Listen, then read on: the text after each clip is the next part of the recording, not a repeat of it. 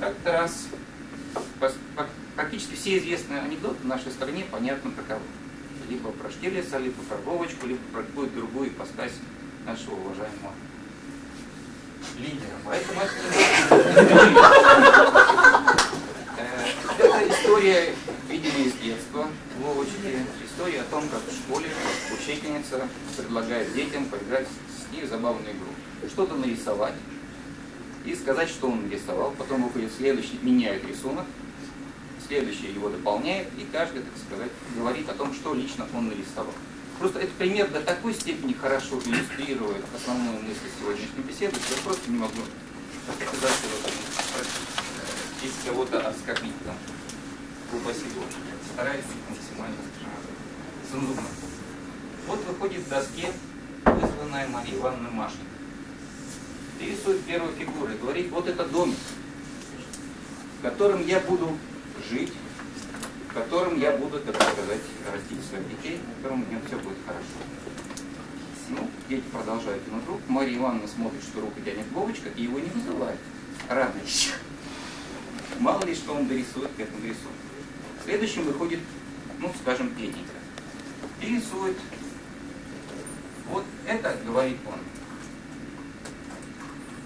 солнышко, которое будет сиять над домиком, где будем жить мы с Машенькой, и в котором у нас все будет хорошо. Следующим тянет руку Вовочка, но опять же Марина, мне кажется, что еще не все, так сказать, мало ли что он там дорисует, и предлагает выйти, скажем, Ванечке. Выходит Ванечка и рисует окошечко, в котором он будет, ну или, скажем, дверку, потому что из которого лучше окошечко, из которого он будет выглядывать и в котором, так сказать, жизнь будет совершенно замечательной и прекрасной. Вот, с Машенькой и Петей. Ну и, наконец, после этого Вовочка, наконец, дорывается до доски, выходит, дорисовывает этот рисунок следующим образом.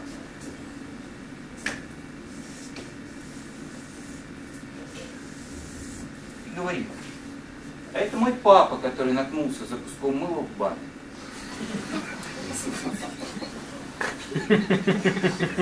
Почему я как бы начал с этого?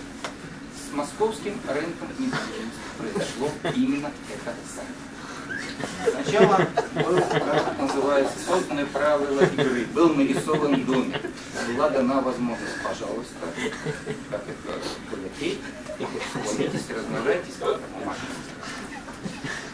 Возникла после некоторого периода дикости рынка, скажем так, более-менее благоприятная атмосфера для того, чтобы частным инвесторам, которыми чувствовали себя и Машенька, и Петенька, и Ванечка, ну, скажем так, была возможность каким-то образом нормально на этом солнышке привольно существовать.